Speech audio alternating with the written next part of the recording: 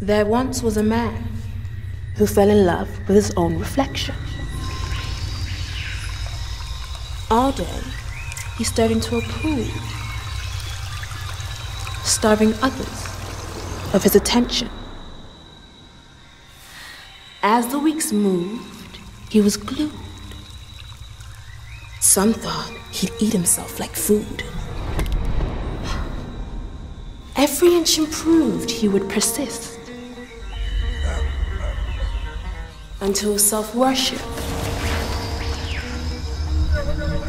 turned him into a gift.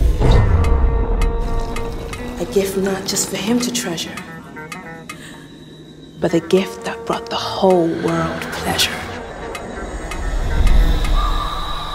And so I put this question to you all.